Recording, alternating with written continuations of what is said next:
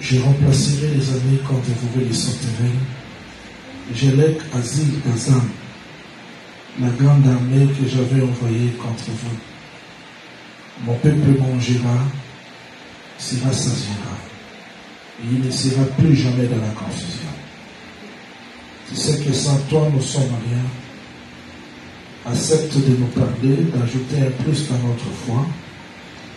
Nous chassons tout ce qui ne te confesse pas. Facilite la compréhension à ton peuple. Dans le nom précieux de notre Seigneur Jésus-Christ, nous avons ainsi prié. Amen. Je vous salue dans le nom du Seigneur Jésus-Christ. Et je bénis le Seigneur parce qu'il nous a accueillis, il nous a fait grâce de me revoir ce jour, tout pour la gloire de son Saint-Nom. Nous prenons directement Apocalypse chapitre 17, la lecture à partir du premier jusqu'au troisième. Il est écrit. Puis, un de sept anges qui tenait le sept coupes vin, et il m'adressa la parole en disant, Viens, je te montrerai le jugement de la grande prostituée qui est assise sur les grandes eaux. C'est avec elle que le roi de la terre se sont livrés à l'impudicité, et c'est du vin de son impudicité que les habitants de la terre se sont délivrés. Il me transporta en esprit dans un désert, et j'ai vu une femme assise sur une bête écarlate, pleine de noms de blasphème, ayant sept têtes et dix corps. Que le Seigneur ajoute l'explication à la lecture des Écritures. Euh, je bénis le Seigneur pour ce temps. J'ai toujours dit que chaque enseignement a un but. Dieu nous envoie des prédicateurs, des enseignants. C'est pour nous amener plus près de lui et c'est pour nous préparer à l'enlèvement. Cet enseignement, c'est un avertissement. Cet enseignement, un rappel. Il y a des gens qui m'écrivent, mais pourquoi vous vous attaquez aux assemblées? Je dis, il n'y a aucune église sur la terre qui est épargnée de l'apostasie. Il n'y a aucune. Même bien-aimé Paul à son temps, il était vivant, il a dit, je vous exhorte, anciens, évêques, de prendre garde à vous-même et au troupeau du Seigneur. Parce que je sais qu'après mon départ, il y aura des loups cruels. Les prophètes Jean dit que ces faux se sont élevés au milieu de nous. C'est-à-dire, on ne doit pas se frapper la poitrine pour dire que tout va bien. Et les autres sont dans des hérésies. Cet orgueil-là nous a amené plus à nous ignorer, à ignorer nos imperfections, à condamner les autres, à voir que tout va bien. Alors que tant que l'homme vit dans ce corps, il y a toujours des imperfections. Il doit réfléchir, il doit s'examiner, parce que bien Paul dit, nous devons nous examiner devant la parole, examiner notre foi pour savoir réellement si nous sommes dans la foi ou pas. Et cet enseignement, c'est un avertissement pour tout et chacun de nous. Je dois vous rappeler que les sacrificateurs en Israël ne peuvent pas se marier avec une femme prostituée. Non. Il doit se marier avec une vierge. Et si pas la vierge, la veuve femme du sacrificateur. C'est-à-dire, les sacrificateurs, pour se marier, il a besoin d'une femme. Mais cette femme-là doit remplir les deux conditions. Vierge ou veuve, mais pas n'importe quelle veuve, veuve du sacrificateur. Le bien-aimé Paul dit clairement que je vous ai fiancé pour vous présenter au Seigneur comme une vierge pire. Nous croyons que l'Église aujourd'hui, nous sommes vierges à cause de la parole que nous avons reçue. Alors, étant des vierges, nous devons garder la sémence que le Maître nous a donnée. Comme vierges, nous devons être bien enseignés parce qu'un peu de levain fait lever toute la masse. Parce que nous croyons que si nous ne sommes pas vierges, l'enlèvement n'est pas pour nous. Sauf pour Israël, parce que Israël c'est la veuve, mais la veuve du sacrificateur. Non pas. Parce que celui qui est mort là est parti, Israël est resté dans le veuvage. Nous ne sommes pas Israël, nous sommes vierges. Voilà pourquoi l'Église doit être gardée vierge. Et ce qui garde l'Église vierge, c'est l'enseignement. Que le Seigneur vous bénisse. Alors, Apocalypse chapitre 17, j'ai prié le Seigneur de me donner la facilité de transmettre ça, parce que c'est un chapitre très complexe, mais par la grâce du Seigneur, nous allons nous efforcer pour que l'Église comprenne. On commence. Un rappel. Apocalypse 17 n'est pas la suite de l'Apocalypse 16. C'est-à-dire, dans l'Apocalypse, tu peux voir, par exemple, Apocalypse chapitre 1 verset 7, il est écrit, il vient dans les nuées. Mais le retour glorieux, c'est dans le chapitre 1 Mais dans l'Apocalypse 12, on voit une femme grosse qui est dans les douleurs d'enfantement. Vous allez voir que Apocalypse 12 ne vient pas après Apocalypse 1, 7. C'est-à-dire que Dieu a parlé ça et là dans des visions, mais c'est au ministère de rassembler pour que l'Église ait la connaissance exacte. Vous allez voir que la fin de l'Apocalypse chapitre 16, c'est la chute de Babylone. J'aimerais que vous reteniez ça très bien. Un ange sorti avec la septième coupe. Il a versé ça sur la terre. Et la grande ville de Babylone fut divisée en trois parties. Ça, c'est la destruction de Babylone. Vous êtes parce que je vais expliquer ça. Mais comment dans l'Apocalypse chapitre 17, j'aimerais que vous retenez très bien parce que je commence là. Comment Dieu dans l'Apocalypse chapitre 16 juge Babylone et dans l'Apocalypse 17, il appelle le prophète Jean pour voir les mystères de Babylone, qui est déjà jugé? La révélation du chapitre 17, Dieu voulait montrer au prophète Jean pourquoi il a jugé Babylone. Pourquoi? Parce que Jean a vu seulement le jugement de Babylone divisé en trois parties, je l'expliquerai, mais il ne comprenait pas pourquoi Dieu a jugé. Alors, dans le chapitre 17e, Dieu donne pourquoi il a jugé. Je dois vous rappeler que l'église du Seigneur doit être enseignée sur le moindre détail. Beaucoup de gens disent que bon, euh, le fléau ne nous concerne pas. Armageddon ne nous concerne pas. Pourquoi prêcher ça à l'église?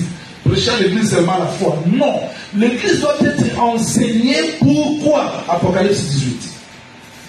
Pourquoi le Seigneur doit rappeler, pourquoi le Seigneur doit montrer au prophète Jean le mystère de Babylone qui a été déjà jugé? Apocalypse 18, commencez par le verset 3.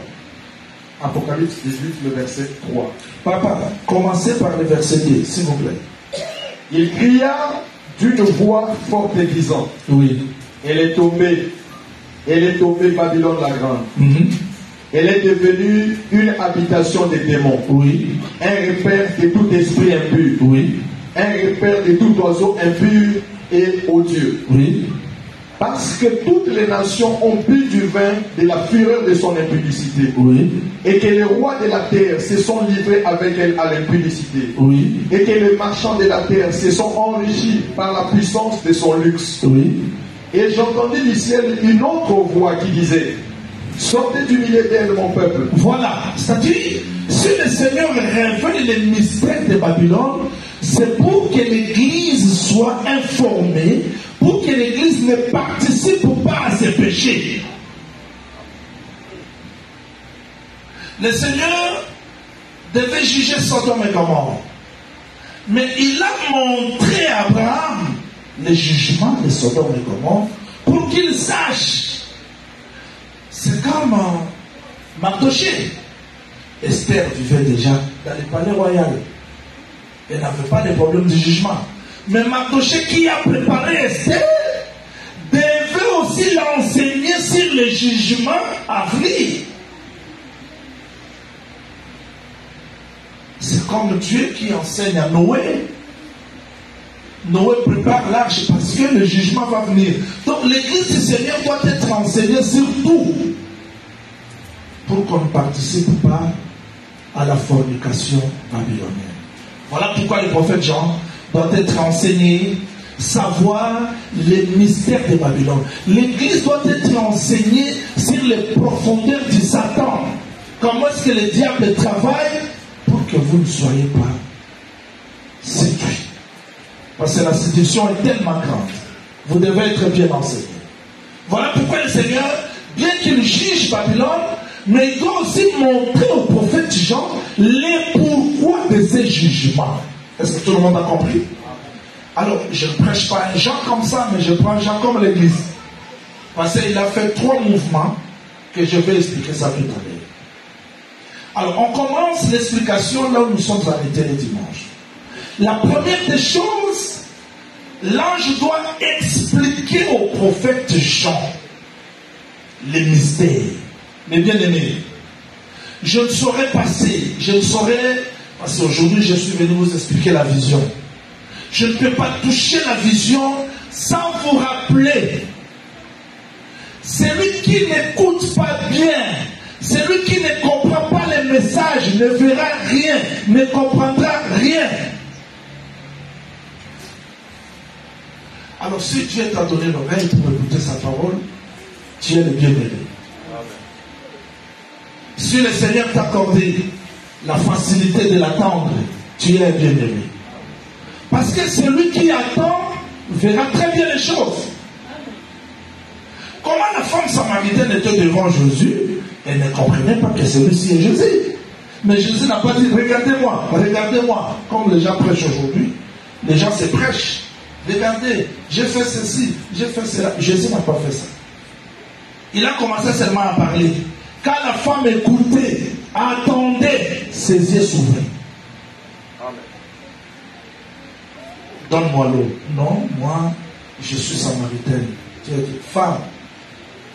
Christ n'a pas dit, bon, moi, je suis le créateur. dit non. Si tu connaissais le don de Dieu, celui qui te demande l'eau, toi, tu allais demander, ah, donne-moi cette eau pour que je vienne plus ici. Bon, va appeler ton mari. Hum. Je ne vais pas démarrer. Oui, tu dis vrai. Quand il parle, les yeux de la femme s'ouvrent. La femme dit, hum, je vois comme si tu es prophète. Hein.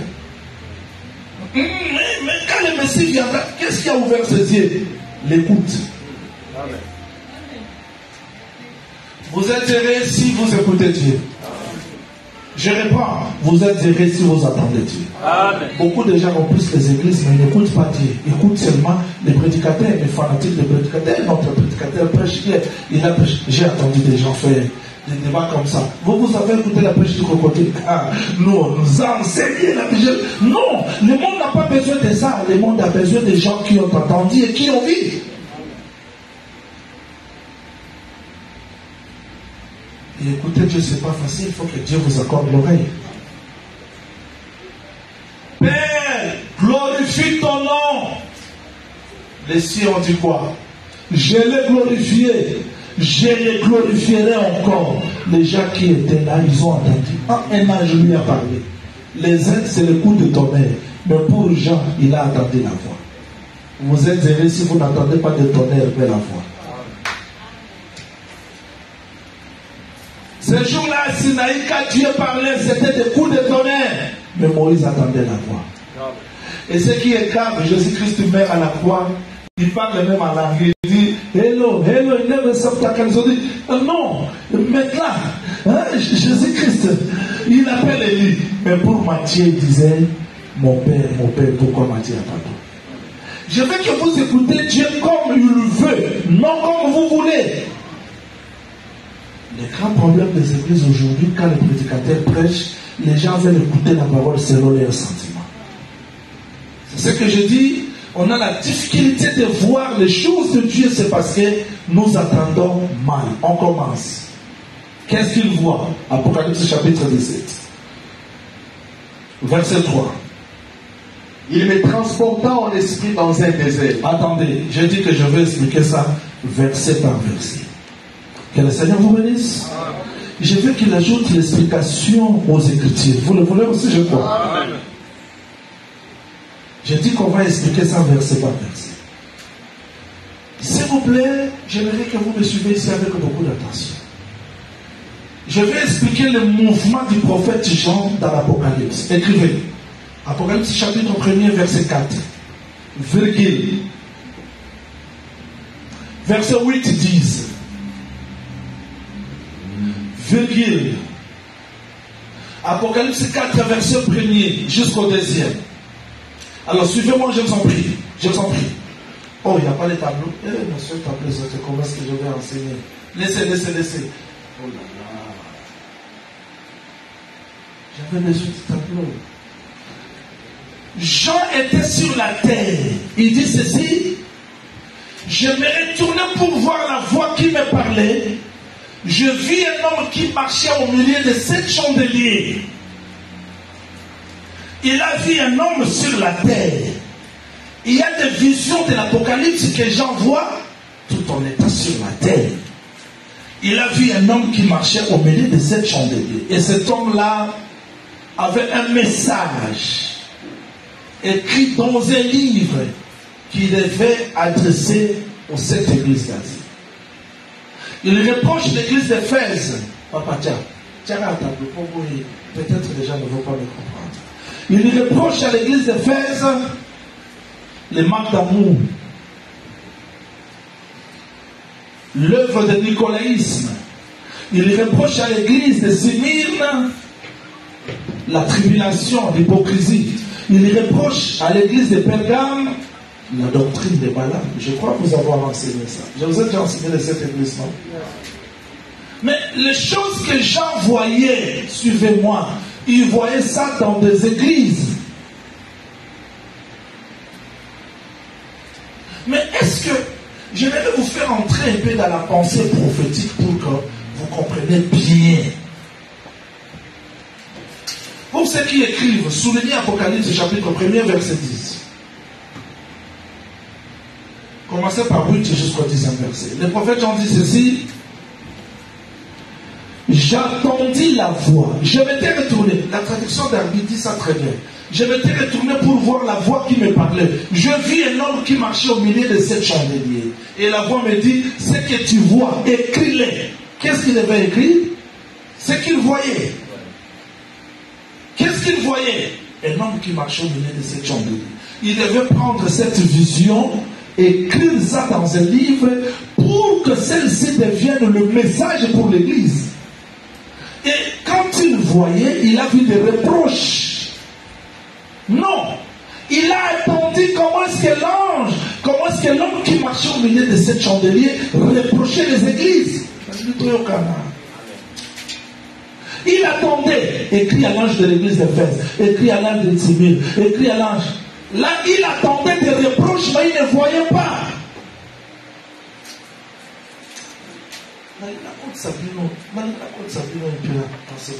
Exemple. Le royaume des cieux semblable aux dix vierges qui sont allées attendre un époux. Qui voit les dix vierges? Personne. Mais Jésus parle. Les gens attendent seulement les dix vierges. Est-ce qu'on me comprend Jésus? Les dix vierges sont allés pour attendre un époux. Pendant qu'ils étaient là, comme l'époux tardait, comme l'époux tardait, elle s'endormit. Et au milieu de la nuit, une voix dit, voici l'époux, allez à sa rencontre. Les dix vierges se réveillaient. Vous voyez, il y a deux temps. Il y a un temps où les vierges, on attend seulement les vierges, mais l'autre temps, on voit les vierges. Quand on attend, on attend combien de vierges? Dix vierges. Mais quand on voit, on voit la séparation. Aujourd'hui, où se trouve l'église? Qui voit l'église? Tu peux appeler Bitouloukou, mais peut-être toi aussi tu es Bitouloukou. Aujourd'hui, nous sommes dix vierges. Les gens attendent le bout, mais on n'a pas encore vu. À l'enlèvement, c'est alors qu'on verra. Voir, c'est la révélation. Attendre, c'est le temps de la prédication. On m'a pas entendu. J'attendis le nombre de ceux qui avaient été marqués par le sceau, 144 000 membres. Là, j'entends, il ne voit pas. Je vis sur le trône, je vis sur la montagne de Sion, les 144. Il y a le temps d'attendre et le temps de voir. Aujourd'hui, Nous prions avec des sorciers, des magiciens, tout qu'on Il y a beaucoup de gens ici. Mais ce n'est pas encore le temps de voir. Mais quand Christ reviendra, c'est alors qu'on verra. Ça sera la révélation de ce que nous avons entendu. Est-ce qu'on comprend? Très bien. Alors, le prophète Jean attendait. Maintenant, c'est le temps de voir. Qu'est-ce qu'il voit? Il voit, on l'a transporté dans un désert. Je commence là. La vision de l'Apocalypse 17, Jean voit ça dans un désert. Écrivez s'il vous plaît. Apocalypse chapitre 17, verset 3. Faites ceci égal, Apocalypse 12. Évangéliste premier, Apocalypse 12. Verset 6. Apocalypse 12, le verset 6. La femme s'enfuit dans le désert, où elle avait un lieu préparé par Dieu. Vous voyez? Afin qu'elle y fût nourrie pendant 1260 jours. Le désert, c'est le lieu où Dieu nourrit la femme. Mais dans l'Apocalypse 17, 3, le désert, c'est le lieu où Jean voit une femme prostituée. Ce n'est pas la même femme. Il y a la femme comme l'église, il y a aussi la femme comme la prostituée. Mais les deux sont vus où? Dans le désert. Est-ce qu'on comprend Écrivez ça rapidement. Apocalypse 12, 6 égale aux ZT. Aux ZT 16, 17. Faites ça égal, égal. Papa, attendez, attendez, attendez. La vision de l'Apocalypse 12, 6, 7, c'est l'accomplissement de Osée chapitre 2, verset 16 jusqu'à 17 verset. Mais, retenez ça très bien. Pourquoi j'ai pris ce verset Je veux vous faire comprendre qu'il y a le désert, le lieu où Dieu nourrit son peuple. Il y a aussi le désert le lieu de la révélation de la forme de la séduction. Évangéliste Luc, chapitre 15, verset 4. Je vais partir doucement. Luc 15, verset 4. Lisez. Luc 15, verset 4. Hmm. Quel homme d'entre vous, s'il a son brebis et qu'il en perde une, ne laisse les 99 autre dans le désert. Où c'est? Dans le désert. Le pasteur, qu'est-ce qu'il est allé faire dans le désert? Il est allé chercher le lieu de la nourriture pour son peuple, pour son troupeau. Donc, le désert, c'est le lieu de la nourriture. Voilà pourquoi Apocalypse 12, 6, 7 dit que Dieu va amener cette femme dans le désert pour la nourrir. Le désert, c'est le lieu où Dieu nourrit son peuple. C'est ça, Deutéronome chapitre 8, verset 3 jusqu'au 16 verset. Je vous ai amené dans le désert. Je vous ai nourri le pain. Ça dit désert, c'est le lieu où Dieu nourrit. Je sais pourquoi j'insiste là. Et je vais donner le pourquoi. Mais désert, c'est aussi quoi? Papa, prenez. Luc chapitre 11, verset 24. Ça doit être ça. Luc chapitre 11, verset 24. Cherchons ça ensemble. Luc 11. Lorsque l'esprit impur est sorti d'un homme, il va dans les lieux arides. Ah Tout désert, ce n'est pas l'école de Dieu. Tout désert, ce n'est pas le lieu où Dieu permet pour que nous soyons enseignés. Il y a aussi le désert des mauvais esprits. Voilà pourquoi n'acceptez pas tout désert dans ta vie si Dieu ne t'a pas indiqué pourquoi c'est désert. Je crois vous avoir déjà enseigné le désert ici, non Un docteur, je n'ai pas enseigné ça. J'ai enseigné le désert de Shur, le désert de Sin, le désert de Sinaï, le désert de. Hein? J'ai enseigné ça ici, non? Il y a un désert où Dieu change notre direction. Il y a un désert où Dieu veut que tout, tout de nous termine pour que lui-même prenne charge de nous. Il y a un désert où Dieu nous enseigne. Il y a un désert où Dieu nous brise. Il y a un désert où Dieu nous oriente dans la vie chrétienne, parce que dans les campements, il y avait plusieurs déserts. Il y avait le désert de Shur, il y avait le désert de Sin, il y avait le désert de Sinaï, il y avait le désert de Paran, il y avait le désert de Chou. Il y a plusieurs déserts dans un désert. C'est-à-dire, si Dieu nous fait entrer dans une épreuve, cela ne veut pas dire que c'est la fin. Il peut nous faire entrer dans l'épreuve pour briser notre orgueil, terminer la provision. Là, tu te sentiras que tu es nul pour chanter comme David l'éternel est mon berger. Il chantait ça dans le désert. Mais il y a aussi les déserts que le diable amène les gens. Voilà pourquoi, quand les choses deviennent difficiles dans la vie, n'acceptez pas tout. Il faut rester dans la présence du Seigneur, prier pour qu'il vous indique quel est, quel est l'enseignement de ce désert. Parce qu'Israël, dans chaque désert, il y avait un enseignement. Les 40 ans n'acceptaient pas dans un seul désert. Il y avait le désert dans le désert. comme le bien-aimé Moïse, avec euh, des, des algèbres, des mathématiques de l'Égypte, il voulait aller délivrer Israël. Dieu l'amena dans le désert pour le dépouiller. Et dans le désert, il a compris que la force de l'homme, c'est rien. Il y a des déserts et des déserts, comme frère Paul étant instruit, mais Dieu l'a amené dans le désert pour le dépouiller. Et à la fin, il a compris que tout ce qui était gain comme moi, je le regardais comme la boue pour gagner Christ. Donc il y a les déserts d'enseignement, il y a aussi les déserts du diable. J'ai fait, j'ai pris ces deux exemples pour que vous ne soyez pas séduits. La femme était amenée dans le désert pour qu'elle soit enseignée, mais il y a aussi les déserts où J'envoie une femme. Moi, j'aime ça, Seigneur.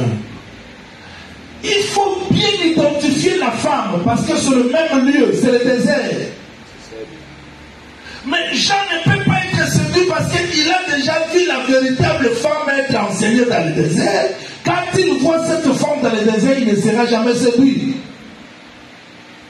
Parce qu'il y a contre-vérité. Celui qui est bien enseigné, celui qui a bien entendu, il a bien vu, il ne sera pas séduit parce que le diable prendra de mêmes mots, de mêmes phrases, de mêmes formes. Je ne sais pas si je vais arriver là aujourd'hui sur la télé de la femme. Tu vas voir qu'il prend pourpre. Parce que Jésus-Christ aussi, avant de mourir, on avait même pourpre. Il prend écarlate. Donc, la séduction, le diable est très intelligent et il connaît où est-ce qu'il peut aller pour séduire. Heureusement, son peuple ne sera plus jamais dans la confusion. Le Seigneur amène le prophète Jean dans un désert. Et ce désert ici, c'est le lieu aride. Écoutez-moi très bien. Il y a le désert de Dieu qui ne te détruit pas. Mais il y a le désert du diable qui peut te détruire. N'acceptez pas le désert du diable. Parce que là, il n'y a rien. Mais dans le désert de Dieu, s'il y a la famine, il va pouvoir. S'il y a la soif, il enverra l'eau. Si le serpent vient, lui-même interviendra. Si les ennemis viennent, lui-même interviendra parce que la colonne du feu est là. J'aime rester dans le désert de Dieu parce qu'à moindre difficulté, il va toujours pouvoir. Le prophète Jean part dans le désert. Ravi en esprit, il voit une femme. Évangéliste continue, verset 3. Apocalypse 17, verset 3. On commence maintenant la vision. Il voit une femme. Il me transporta en esprit dans un désert et j'ai vu une femme assise sur une bête écarlate. Attends. Il voit dans un désert une femme assise sur une bête. Vous voyez cet esprit? C'est ça la prostitution. C'est ça la domination. Quand la femme est au-dessus de la bête, il voit la femme assise sur la bête. Mais la femme signifie quoi? La bête signifie quoi?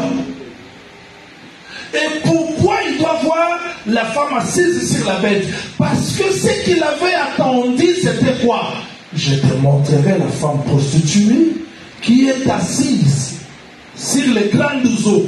Mais ici, il ne voit plus les grandes eaux, mais il voit quoi? La bête, parce que la bête ici, c'est le royaume. C'est la puissance qui représente les grandes eaux. Est-ce que vous m'entendez, Seigneur? Mais la femme signifie quoi? Comme vous le savez, la femme, c'est la soumission. La femme, c'est la soumission.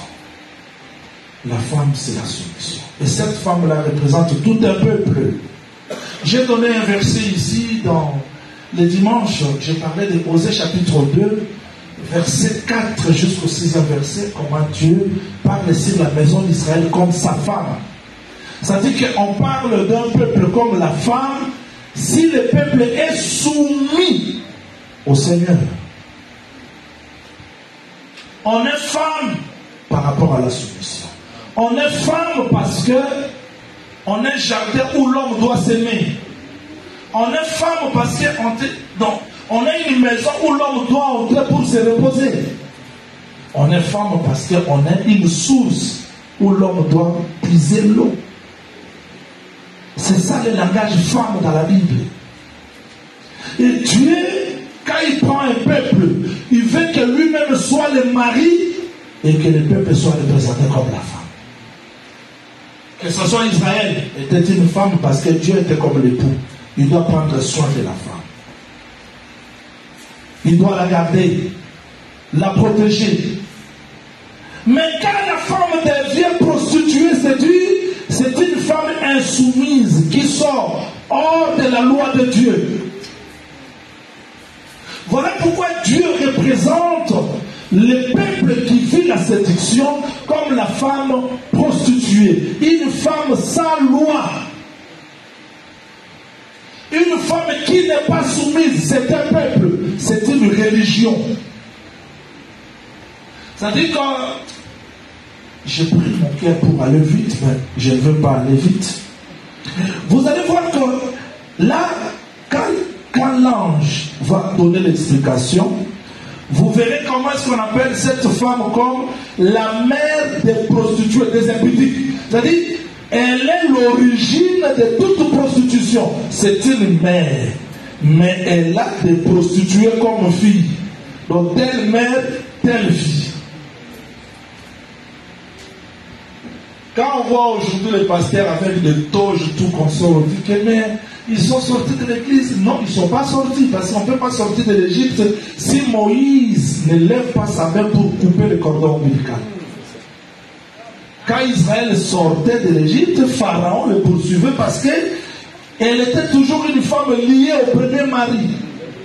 Quand Moïse lève la verge, Dieu coupe le cordon ombilical, c'est alors qu'Israël est libre. On peut changer l'église, on est toujours fille de la prostituée, parce que la prostitution va vous suivre partout changer le nom de l'église ne signifie pas que vous êtes sorti de la prostitution. Et j'ai toujours dit, parce que je parlais, je l'ai toujours dit à Dr Jason, faut pas vous frapper la poitrine parce que vous êtes assemblée de saints. Nous n'allons pas démontrer au monde que nous avons l'évangile. Non. Il faut que notre vie témoigne que nous sommes séparés de la prostitution. Comment vous êtes église Mais ce qui se faisait là-bas, ça se trouve ici. Maintenant, vous êtes différent de quoi? Écoutez-moi très bien. Israël se disait toujours, nous sommes peuplés, nous sommes peuplés, nous sommes peuplés. Mais quand Jésus est venu, moi j'aime Jésus. J'aime qu'il soit le pasteur aujourd'hui. Et si Jésus était là, même à Kisangani, même à Lubumbashi, moi je ne serais pas prédicateur. Je pouvais aller m'asseoir sur les pas d'écouter parce que je n'ai jamais vu un prédicateur comme lui, qui n'est pas flatté par des acclamations des gens. Comment quelqu'un qui vient à Cape Town, toute la ville unie chante pour lui, mais il descend, dit Jérusalem, si tu connaissais le jour de temps. Donc pour lui, les acclamations des hommes ne lui disent absolument rien. Il entre dans la ville pour s'arrêter là, il va à Jérusalem dans, dans, le temple pour examiner ce qui se fait. C'est-à-dire l'extérieur ne suffit pas. Il fallait qu'il entre dans l'intérieur pour vérifier si l'intérieur correspond à l'extérieur. On peut parler de la sainte doctrine. L'évangile, nous savons la vérité. Mais ce n'est pas le tout. Il faut que notre vie aussi témoigne. La marche de l'église, l'organisation, l'enseignement. Comment Dieu peut nous donner la sagesse d'en haut Le prédicateur meurt, reste autant de mois dans des morts pour chercher de contribution. Et vous dites, vous avez la parole. À votre presse, j'étais scandalisé les jours où j'ai fait des recherches dans l'église catholique et romaine qui n'ont pas le Saint-Esprit, comme nous le disons. Quand, quand les prêtres m'ont dit qu'avant de payer les prêtres, ils prennent l'église, l'entrée des paroisses de Mikono, de Massina, parce que ça que là, il n'y a pas beaucoup d'argent. Ils il fait la péréquation, c'est-à-dire ils prennent l'argent qui est entré à Mikondo, ils l'additionnent à ce qui est entré à ma campagne te dire, tiens, mais chez nous, même si tu es à Mikondo, même si l'église ne donne pas l'argent, tu vas mourir là-bas. Les gens qui sont à ma campagne, même si, même si l'argent entre 5 000 dollars, c'est pour eux, nous sommes venus, vous êtes venus, mais les autres souffrent. Même si les saints qui sont à Routourou, n'ont pas de lieu de culte, mais là vous êtes bien, nous sommes des saints. Mais au temps de Paul, les gens contribuaient pour les saints qui ne connaissaient pas, mais parce que nous sommes la même église. Alors on dit que nous avons la vérité, nous avons la parole, nous attendons l'enlèvement. Attendez-moi très bien. Je veux que les gens soient sérieux. Que le Seigneur vous bénisse. Jésus-Christ entre, il s'arrête pas par des acclamations. Il a vérifié. Comme il a trouvé que tout n'était pas en ordre, il est sorti. Il est allé passer nuit à Bethanie. Il y a un pourquoi. Passer dans Jérusalem, le Fils de l'homme n'a pas trouvé un billet pour poser sa tête. Heureusement que Jésus est présent. J'ai pris dans son église. Que le Seigneur vous bénisse. C'est-à-dire, la femme prostituée c'est tout. Je ne prêche pas la femme prostituée comme l'église catholique. Non. Je ne parle pas la femme prostituée comme les Lituluku. Non. Je parle de l'esprit de la séduction qui est au-dessus des puissances des nations aujourd'hui. Ça peut ramasser n'importe quelle organisation. Là, il n'y a pas de amen. On dit, ah, on on croyait que la femme prostituée, c'est catholique. Catholique fait partie aussi des femmes prostituées, mais n'est pas la seule. Parce qu'il y a aussi des filles prostituées partout. Je ne peux pas comprendre les gens qui ont reçu le Saint-Esprit. Et, les gens nous intimident beaucoup. Nous étions dans le ciel. On a vu l'ange. Ça ne dit absolument rien. Nous, on posera seulement la question qu'est-ce que l'ange t'a dit? Parce que Corneille aussi, L'ange l'a visité, mais l'ange qui a visité Corneille, la vie de Corneille s'est changée. Mais maintenant, vous avez reçu la visitation de l'ange, mais vous restez impudique, vous restez cupide, vous restez. Et vous dites que nous, nous, étions aussi à votre Parce que le ciel, c'est pas ce que nous voyons. Je prêcherai, je veux dire que quel que soit le changement du temple, la mesure des liens très saints était restée la même dans le temple. C'était carré. Le ciel n'a qu'une seule mesure. On ne changera pas le ciel des Américains, non. Même mesure de l'évangile. Si passe là, on doit se poser des questions si nous sommes où. La femme prostituée, c'est la fausse église, c'est la fausse religion. Mais elle est femme parce que elle est censée être soumise, mais prostituée parce qu'elle est hors la loi, hors doctrine, hors règle. L'église ne peut pas se conduire comme elle veut. Moi je pense ça, moi je veux ça. Non. On est sorti de l'Égypte, nous sommes sortis dans le désordre, mais dans Sinaï, on doit mettre chacun dans l'ordre.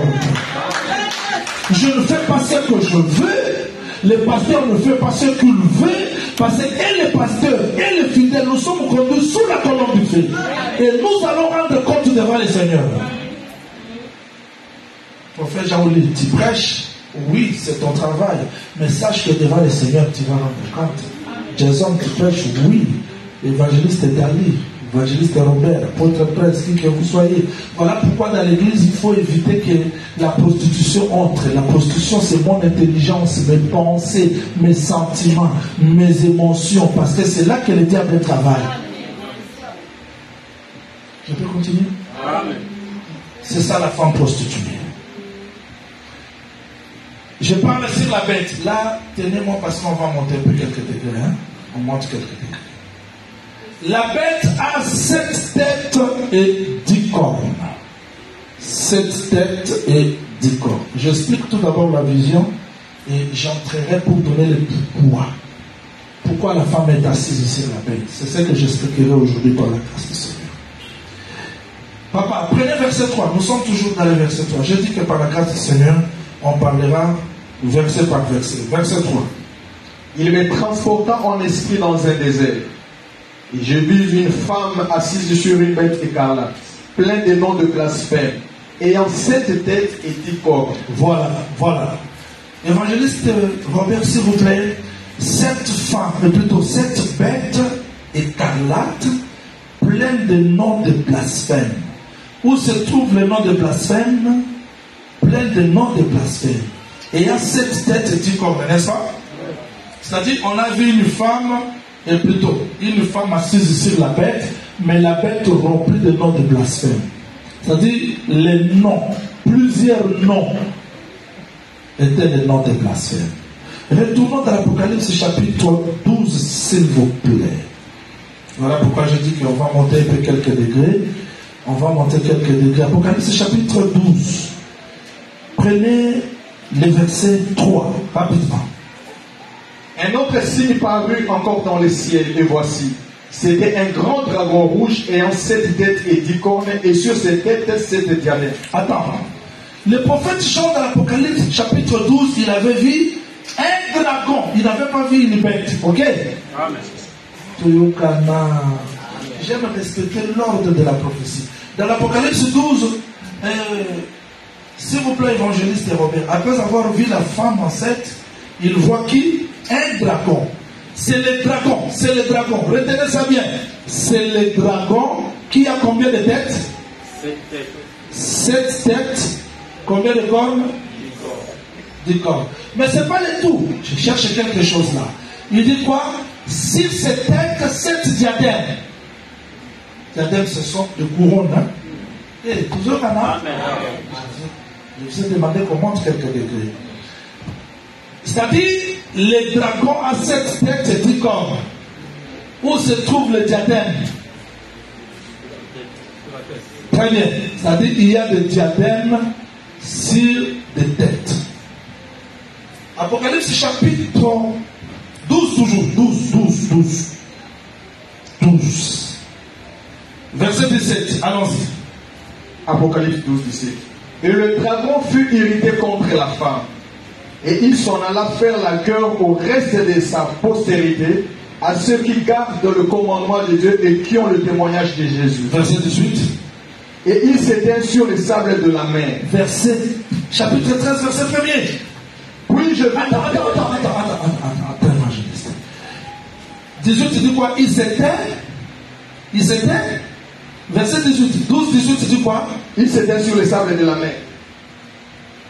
Qui est maintenant Qui s'éteignait sur les sables de la mer L'église Non C'est le dragon.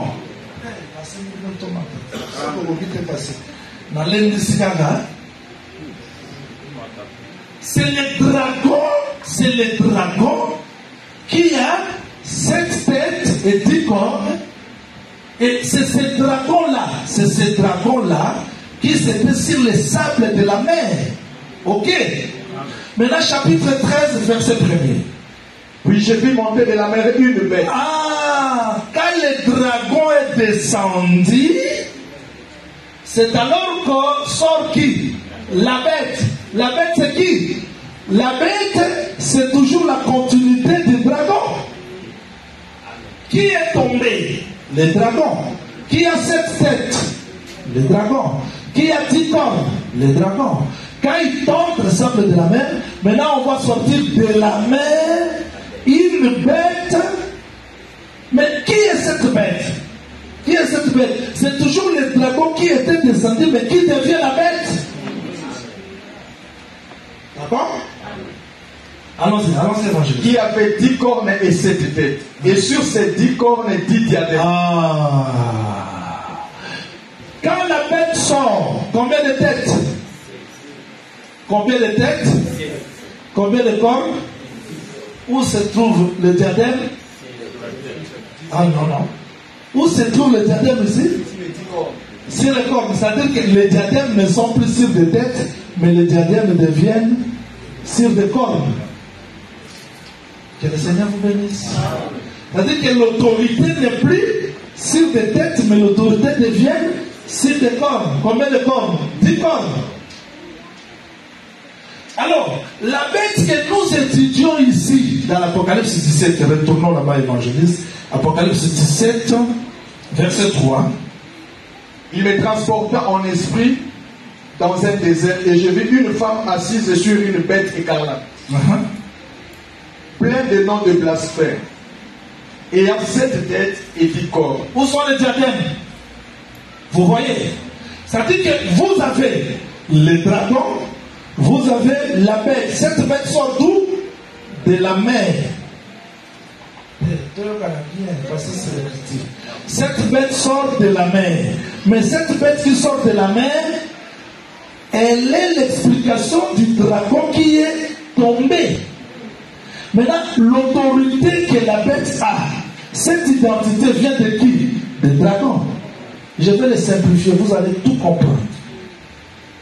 Je répète seulement l'écriture, vous allez comprendre ça très facilement.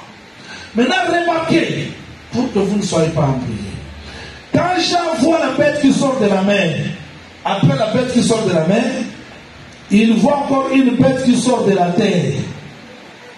Maintenant, cette bête qui sort de la terre a combien de cornes, évangéliste? Deux cornes. Apocalypse 13, rapidement. Apocalypse 13, verset 11. Vous allez comprendre ça dans un mot et on rentre là-bas dans l'Apocalypse 17. Oui, verset 11. Oui, allez-y. Puis j'ai vu monter de la terre une autre bête qui avait deux cornes semblables à celles d'un agneau et Ah. qui parlait comme un dragon. Hein Semblable, À celle d'un agneau, mais qui parlait? Comme un Mais dragon. qui est ce dragon? C'est le dragon là qui s'est incarné de la bête et la bête qui sort de la terre. Elle a l'apparence de quoi? D'un agneau, c'est un agneau. Mais quand elle parle, c'est le dragon. Maintenant, cette bête, qu'est-ce qu'elle fait, évangéliste? Qu'est-ce qu'elle fait? Descendez, descendez. Elle exerçait toute, auto- toute l'autorité de la première bête en sa présence. Vous voyez cette bête? Que le Seigneur vous bénisse. Cette bête ne parle pas d'elle-même, ne se prêche pas. Elle prêche qui? Elle prêche la première bête. Est-ce que vous me suivez? Elle prêche la première bête. Maintenant, cette bête fait l'honneur de qui? Apocalypse chapitre 13. Nous sommes toujours là. Nous sommes toujours là. Nous sommes toujours là. Verset 3. Verset 3. Apocalypse 13, verset 3, 4. Allons-y. Et j'ai vu l'une de ses têtes comme blessée à mort. Uh-huh. Mais sa blessure mortelle fut guérie. Et toute la terre était dans l'admiration derrière la bête. Et ils adorèrent le dragon parce qu'il avait donné l'autorité à la bête. C'est-à-dire que quand que le Seigneur vous bénisse. Je vous ai demandé qu'on monte quelques degrés, vous allez comprendre dans la facilité. Vous avez le dragon qui a sept têtes dix corps, il donne son autorité à la bête, la bête qui a sept têtes dix corps. Mais cette bête ici est comme morte. Je vais expliquer ça dans l'Apocalypse 17. Cette bête ici est comme morte, mais elle est revenue à la vie.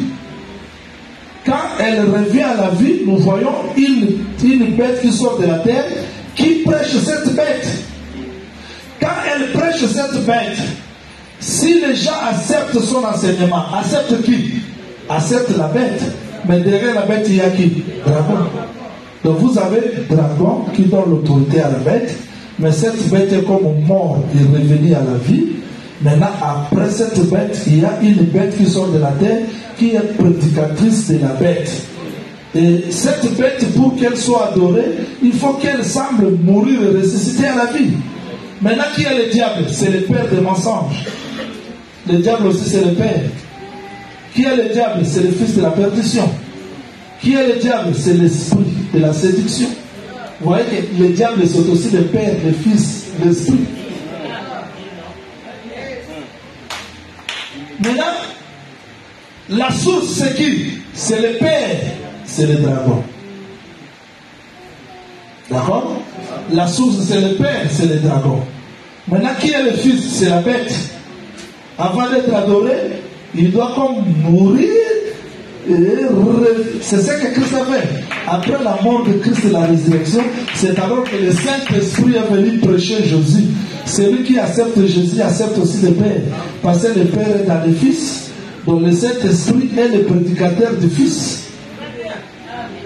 Ce que Jésus-Christ a fait, ce que Dieu a fait, le diable l'a imité. Ça veut dire que le diable, c'est l'imitateur de l'œuvre de Dieu. Si le diable imite le Père, si le diable imite le Fils, si le diable imite le Saint-Esprit, il peut imiter aussi l'apôtre, il peut imiter aussi prophète, il peut imiter aussi évangéliste, il peut imiter aussi pasteur, il peut imiter aussi docteur.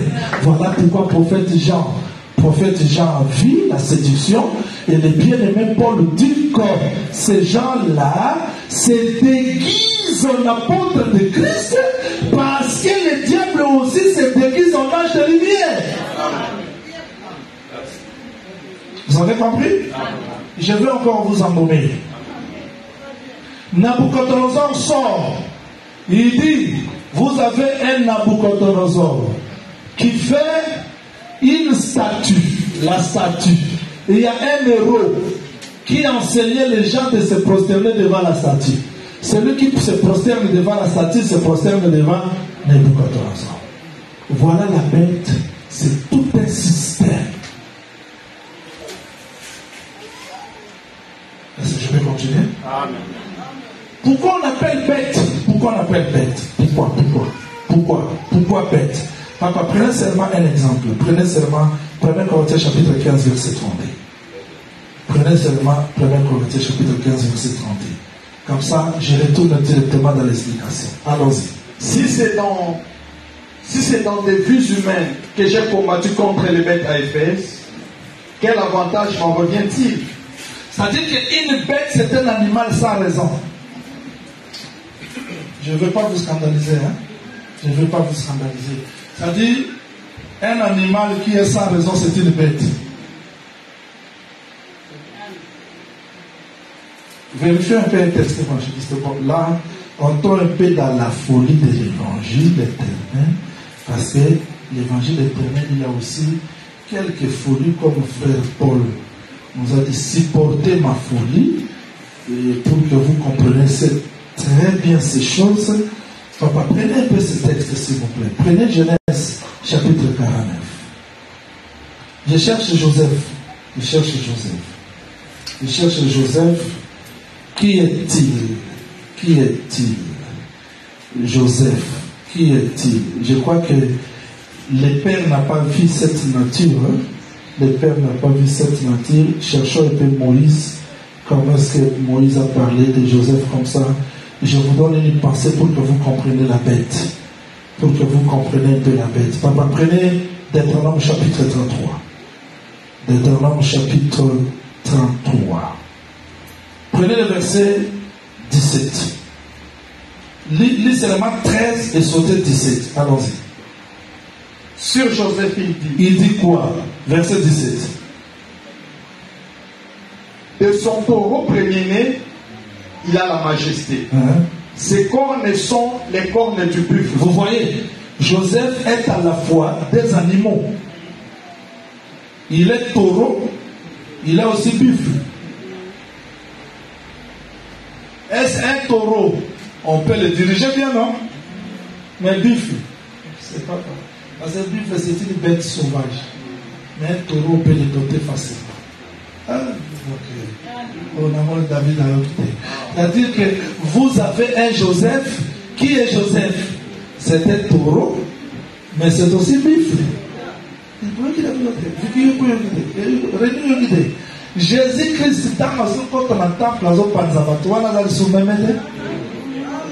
ah, voyez, parce que même, euh, qui êtes-vous? Euh, Vous parlez. Mais, quand, il chasse les gens, ça dit qu'il avait des natifs. À la fois taureau, mais aussi buffle. Devant les combats, il ne reste pas buffle. Quand les démons viennent, il prend cette forme-là. Il chasse parce que il est aussi il est aussi taureau. Donc une bête, c'est un animal hors norme, sans loi, sans règle. Maintenant, Dieu explique le royaume de la terre comme bête parce que un royaume qui n'a pas le Saint-Esprit, c'est une bête. Un homme qui n'a pas le Saint-Esprit, c'est une bête. Quand vous voyez les gens de ce monde font des études, on a envoyé 45 milliards de dollars pour former tel missile, tel missile. Mais, c'est ça la folie. Les gens même ici, on ne peut pas envoyer. Congo cherche à peu près 15 milliards seulement, mais il y a 30 milliards pour l'essai de, de atomique tel, nucléaire tel. Vous qui avez le Saint-Esprit, vous êtes heureux. Et venez de Oh,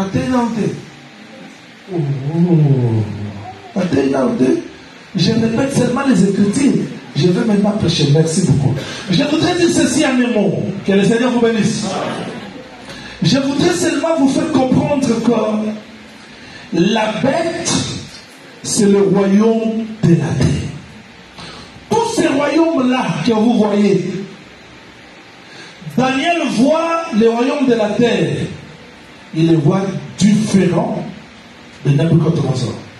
Nebuchadnezzar voit l'or, argent. Mais quand Daniel vient, il voit lion, ours, léopard. Parce que c'est ça la vision d'un peuple enseigné. Quand les gens tremblent devant les États-Unis d'Amérique, l'Église comprend que ça c'est une bête parce que le vrai roi viendra. Le bien-aimé Paul appelle tous les faux prédicateurs, ce sont des bêtes. Parce qu'ils n'ont pas la maîtrise, n'ont pas le Saint-Esprit et n'ont pas le souci du peuple. Même quand un prédicateur passe ici, il peut être une bête ou bien un taureau.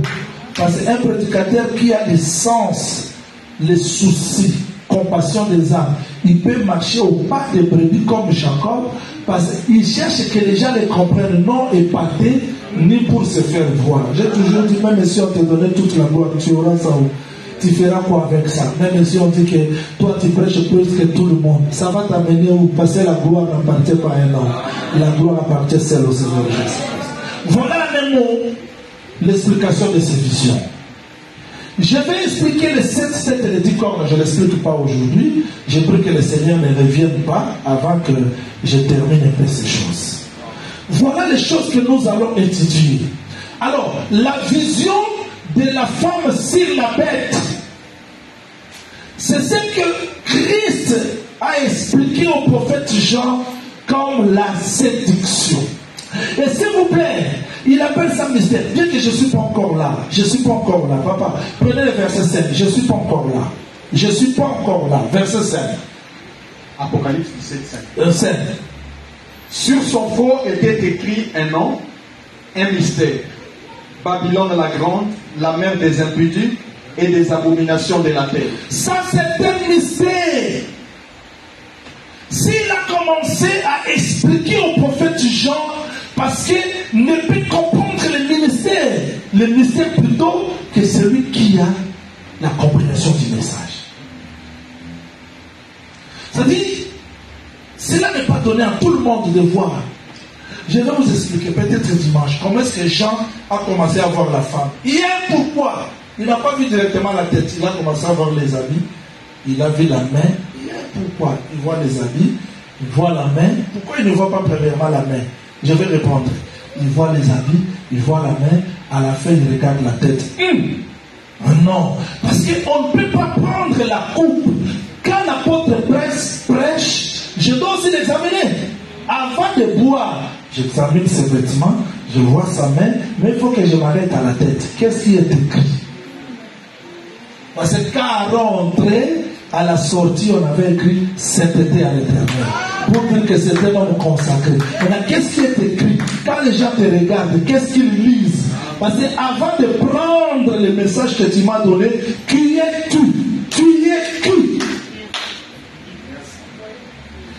que Jésus prêchait, mais Jean-Baptiste a posé la question est-ce que c'est toi ou c'est pas toi? Parce qu'on doit t'identifier par rapport au travail que tu fais. Tu ne peux pas être un pasteur malfaiteur. Tu ne peux pas Tu ne peux pas être un pasteur Non. Un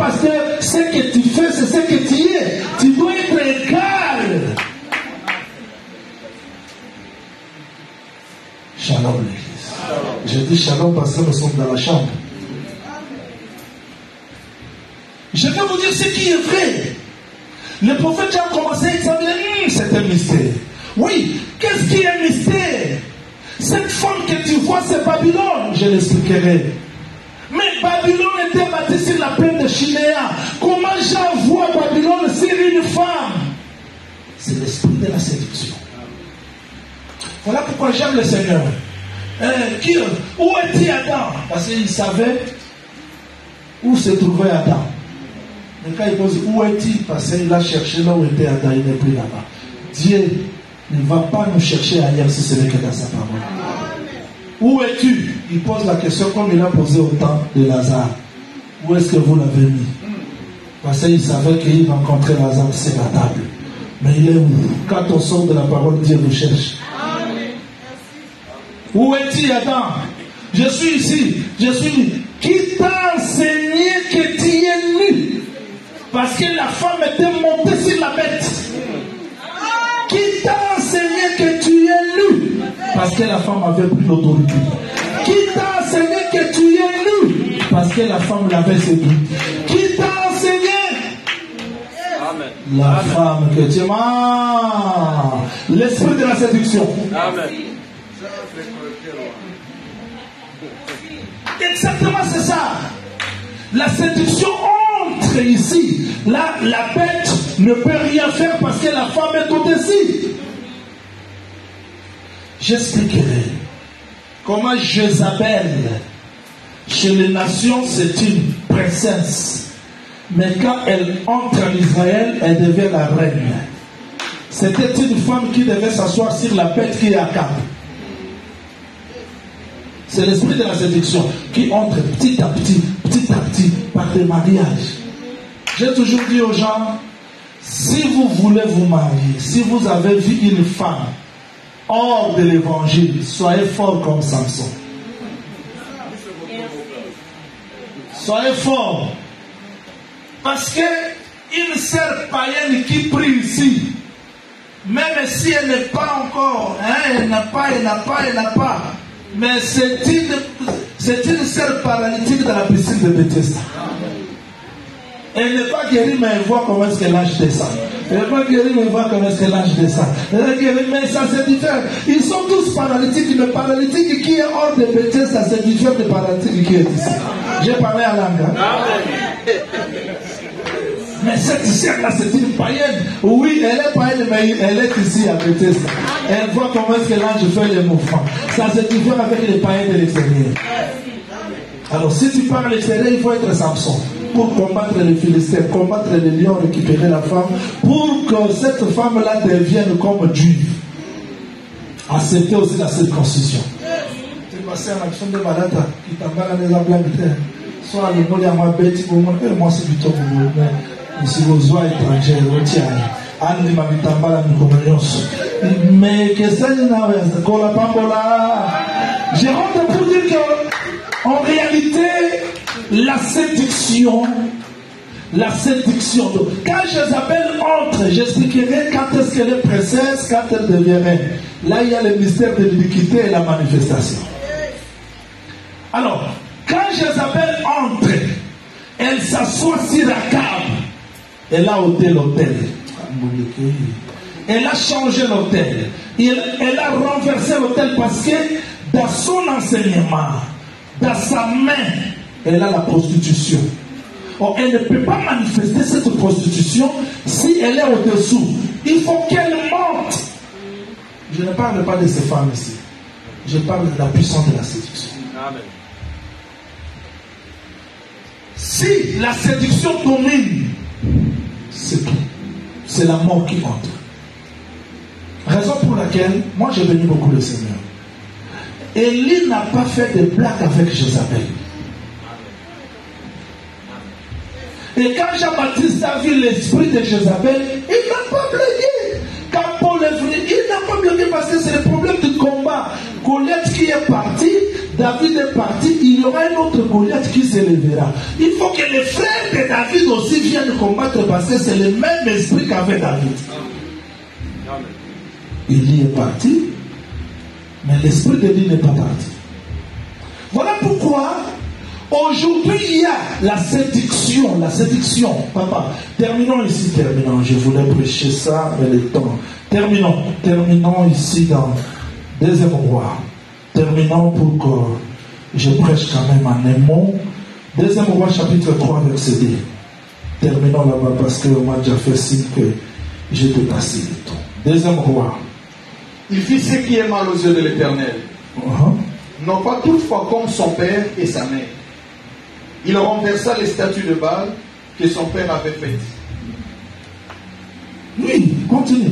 Mais il se livra au péché de Jéroboam, Comment Comment fils de Nébat, Comment évangéliste qui avait fait pécher l'Israël et il ne s'en détourna point. Ah, vous avez vu, vous voyez, ce que Joram a fait. Qu'est-ce que Joram a fait? Apparemment, il a très bien fait, il a réparé, et tout Israël savait que Joram a très bien travaillé. Mais le prophète dit non, papa, prenez un peu le verset 13 s'il vous plaît. Le verset 13. Hmm, Élisée dit au roi d'Israël, qui a dit entre moi et toi hmm, Va vers le prophète de ton père et vers les prophètes de ta mère. hmm. Et le roi d'Israël lui dit non, car l'Éternel a appelé ces trois rois pour les livrer entre les mains des Moab. Que le Seigneur ajoute l'explication à la lecture des Écritures. Jézabel est parti. Akab est parti, mais son esprit est resté. C'est ce que nous combattons. L'esprit de la prostitution. Joram est devenu roi. Il dit, bon, pour qu'Israël sache que j'ai bien travaillé, il a commencé à ôter. Et comme ça, à l'œil les gens voyaient que Joram a très bien travaillé. Mais devant les prophètes, les prophètes disent non, non, non, non, non, non, non, je ne peux pas te recevoir parce que tu as encore les abominations de ta mère. C'est-à-dire, bien que extérieurement tout est bon, mais Dieu ne voit pas seulement l'extérieur, il voit aussi le fond. La prostitution ne s'arrête pas seulement dans l'ata kitambala, mais la prostitution part aussi à l'intérieur. À l'extérieur, tout, est bien fait. C'est une scène bien parée. Mais son côté, la niveau là, C'est-à-dire que pour Dieu, Dieu ne s'arrête pas seulement parce qu'on a dit kitambala. Dieu ne s'arrête pas parce que je suis pasteur. Je peux... Non! La prostitution, Dieu doit arranger l'extérieur et l'intérieur. Et tous les pays d'Israël pouvaient acclamer Joram. Joram, tu as ôté les statues de Baal. Mais le prophète dit non, je ne peux pas te voir. Ah, j'aime ça. J'aime ça. Si, si Josaphat n'était pas là, je ne pouvais pas te voir. C'est-à-dire que si le roi, si le prophète a accepté de parler, parce qu'il y avait un Josaphat. Moi, je crois qu'aujourd'hui, Dieu ne nous a créés pas à cause de nous, mais il nous a créés à travers le véritable Josaphat qui est le Seigneur Jésus-Christ. Maintenant, il dit, tu as caché les abominations. La prostitution pousse les gens à apparaître bons, mais au fond, il y a des choses. Vous allez voir des gens, ils prêchent bien, mais regardez au fond. Un rancunier terrible, déjà incapable de pardonner. Et les gens me posent des questions. Est-ce que maintenant, pasteur est seul Oui. Mais quand il prend la chose, je veux vous expliquer. Je veux vous expliquer. Je veux vous expliquer. Je veux vous expliquer. C'est ça que frère Jacques dit. Au monde, il ne va souffrir manzala. Et c'est le kende na kimia. Mais na motema, et l'autre C'est ça. C'est-à-dire que Dieu ne veut pas s'arrêter seulement aux choses visibles. Ici, je ne parle pas de la prostitution des fausses églises. Je suis venu enseigner l'assemblée des saints pour que les gens comprennent que la prostitution ne nous épargne pas. Comment devons-nous nous comporter? Est-ce que tu sais que la chair, tu sais que le corps que nous portons, c'est la chair, c'est la femme? Oui, la chair, c'est ça la femme. L'esprit, c'est l'homme, non? Oh, vous ne comprenez pas? Devant le combat, on ne doit pas combattre avec la partie faible, parce que la partie faible, c'est la femme. Il faut que la femme rentre, que l'homme parte devant. L'esprit est bien disposé, mais la chair est faible, parce que la chair, c'est la femme. Maintenant, c'est lui qui marche. bien. Il permet que la chair domine ses pensées, ses sentiments, ses combats. Il est sous l'esprit de la séduction. Parce que la chair, papa, papa, papa, peut-être, peut-être, tu vas comprendre, Jacques 4, 4, dis ça, dis ça, comme ça on va prier parce que le temps nous est déjà parti. Jacques 4, 4. Adultère que vous êtes. Adultère que vous êtes, comment? Ne, Hein, comment, comment? Ne savez-vous pas que l'amour du monde est inimité contre Dieu? Ah. Celui donc qui veut être ami du monde sera ennemi de Dieu. Voilà, c'est-à-dire que nous sommes adultères si souci à mokili eleki ya nzambe tel que nous sommes ici si on, si on dit seulement na vie la vie chrétienne qui va bien prier? Non tosambela mpo na bitumba ndenge eleki makasi makambo na biso mbula esimba vous allez voir comment est déjà c'est-à-dire que souci ya bato eza mingi na nzoto. Ne, ne sachant pas que la chair c'est ça l'imperfection. C'est la femme. Et cette femme ne doit pas être au-dessus de toi parce qu'un jour tu quitteras ce corps tu vas retourner à l'éternité je vous ai prêché ici que nous sommes venus habiter ce corps mais ce corps ne nous appartient pas un jour nous allons la quitter c'est-à-dire un enfant de Dieu doit être prudent pour que la séduction ne le domine pas. Parce que la chair, c'est la séduction. Je vous dis vrai, je vais m'arrêter là-bas pour dire que le diable ne travaille pas sur un front. Il a plusieurs fronts. Il a de faux prédicateurs. Il suscite aussi des choses difficiles. Parce que Frère Paul il y aura des temps difficiles. L'iniquité sera accrue. La charité de bon nombre se refroidira.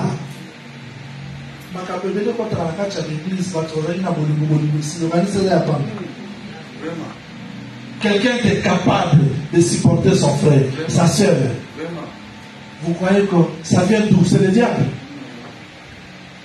Une fois que nous acceptons la chair nous dominer c'est fini. Si la chair nous domine c'est fini. Mais nous voulons sortir de la séduction de la chair. Nous voulons que Dieu nous fasse grâce. Je ne sais pas, je ne vous ai pas amené ce message pour vous condamner, mais je vous ai amené ce message pour que notre vie soit conforme à la doctrine, notre vie soit conforme à la parole. Et moi je crois que Joram ne pouvait rien, parce que le combat était là. Il ne pouvait rien faire, les ennemis l'entouraient. Mais Josaphat, quand Joram commençait à condamner Dieu, j'aime ça. Il dit, mais pourquoi Dieu a permis ça? Pourquoi les ennemis sont près de nous? Pourquoi les choses deviennent difficiles? C'est ça un homme charnel qui ne s'examine pas, mais qui donne toujours tort à Dieu. Pourquoi, pourquoi, pourquoi, pourquoi, pourquoi? C'est ça un homme charnel. Il trouve qu'il a toujours raison. Les autres ont toujours tort. Mais pourquoi Pourquoi tu as permis ça? Pourquoi les ennemis sont près de nous? Pourquoi? Regardez ce qu'il dit. Prophète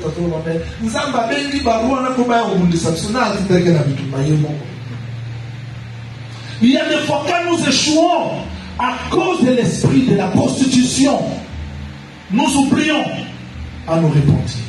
Et les gens sont des incrédules ils ne comprennent rien parce que la prostitution, une femme prostituée, ali akapangusi monoko ekomprendre nali akite une femme prostituée parce qu'elle est bien enseignée surtout c'est ça la prostitution. Apparence ya bien mais prostituée. Mais pourquoi ça? Pourquoi ça? Josaphat dit ah il n'y a pas un prophète. Parce qu'il savait que Dieu est à sa parole. Il s'arrête pas seulement, il un prophète, il dit, est-ce ce prophète-là, la parole est avec lui? Tu peux être apôtre, mais il n'y a pas la parole. Tu peux être prophète, il n'y a pas la parole. On a beaucoup de docteurs, docteurs, docteurs de versets, mais il n'y a pas la parole. Josaphat dit, y a-t-il un prophète Est-ce que la parole est avec lui? Allons-y. Quand ils arrivent, le prophète dit, oh, Joram, fils de la femme prostituée Jézabel, pourquoi tu n'es pas allé invoquer? Donc on voyait la prostitution. Il dit, mais à cause de Josaphat, j'aime ça. Même si je suis faible, je suis prostitué, que Dieu ne me voie pas ce soir. À cause d'un homme qui m'a amené vers lui, que ce Dieu-là me voie qui me délivre. Parce que je suis sans force devant les combats qui m'entourent. Je veux que tu pries comme ça. Je suis sans force. Parfois, j'ai engagé des projets sans demander Dieu. C'est ça la prostitution. On se croyait qu'on est plus intelligent. On a fait des projets sans prière. Beaucoup de gens ici, Dieu m'a dit ça aujourd'hui le matin. Dieu m'a dit, il ne faut pas passer trop du temps à mais ayez beaucoup du temps de la prière. Parce que tu peux rester là-bas.